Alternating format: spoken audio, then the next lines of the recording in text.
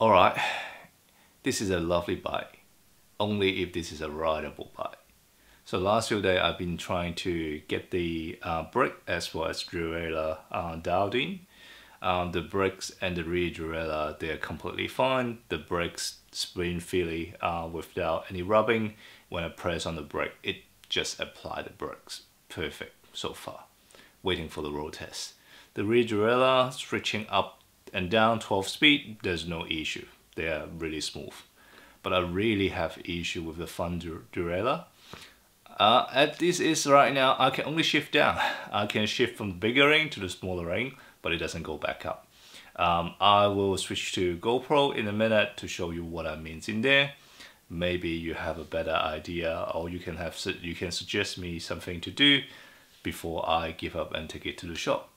Alright, let's get going. Now let me just sort of rotate the crank backward a little bit so that it go over here. Now be mindful of the gap, right? So if I pull the derailleur again, actually hit, hitting the crank arm in here. I did try to uh, limit the movement on this. If I have any less movement, it actually doesn't catch on the bigger ring.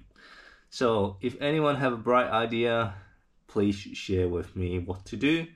Um, and I'll also play the video of the progress that I have done so far Hope you enjoy it.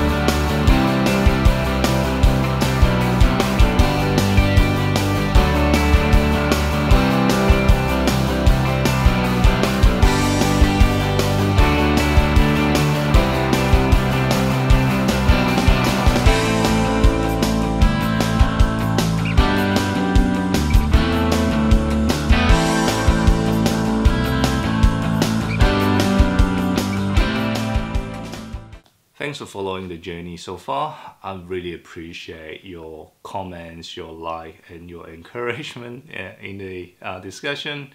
Um, this is taking a lot longer than I hope it to be. However, it is a good process that I do really enjoy it. Um, we'll see next few weeks what's going to happen because I'm still waiting for uh, extra spacer coming in um, hopefully I can get the front derailleur um, sort of fixed and I can shift. Um, however, the next few weeks I also have interstate um, travel and work commitment coming up. So I hope to get most of things done before I need to fly off. Um, we'll see how it goes. Again, thanks for watching. Bye.